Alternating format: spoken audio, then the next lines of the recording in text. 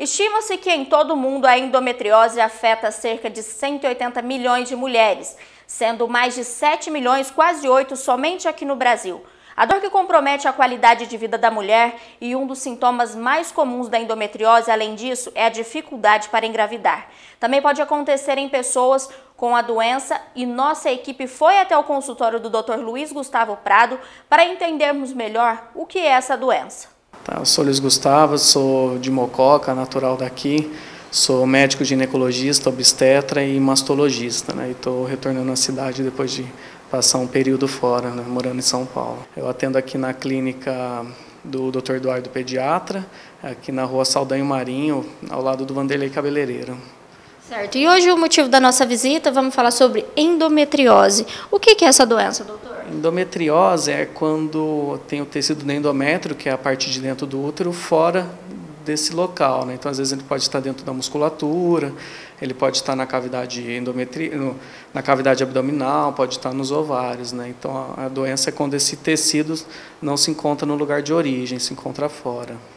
Certo, e às vezes a gente vê muito da mulher se queixando problemas da menstruação, dores. Isso tudo são sintomas de endometriose? Sim, sim. Os sintomas da endometriose são é, aumento de dores, né, principalmente no período menstrual, é, aumento de cólica, tem paciente que tem piora para ir no banheiro, né, e dor na relação, isso tudo pode ser sintomas da endometriose. Não, qualquer mulher, né? Mas os sintomas são mais na, na mulher que menstrua, né? Porque que são as mulheres que têm esse tecido ativado. Então, é um problema da mulher na idade reprodutiva. Certo. Às vezes, quando a mulher começa a sentir os sintomas, se assusta, é normal, mas tem tratamento? Sim, sim, tem tratamento. Você tem que fazer a investigação correta, né? E tem tratamento. Pode ser desde o uso de anticoncepcional até o tratamento cirúrgico, né? Depende do local e das queixas da paciente. Sim. Como que o senhor vê a importância, já nos primeiros sintomas, a mulher procurar ajuda, procurar um médico?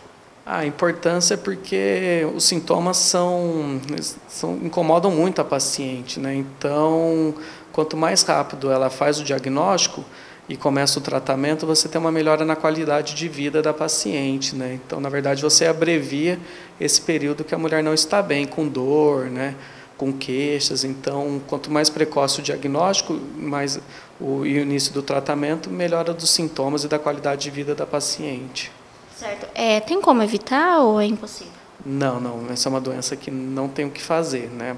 Então, na verdade, a partir do momento que você faz o diagnóstico, você inicia o tratamento, mas não tem, não tem como evitar.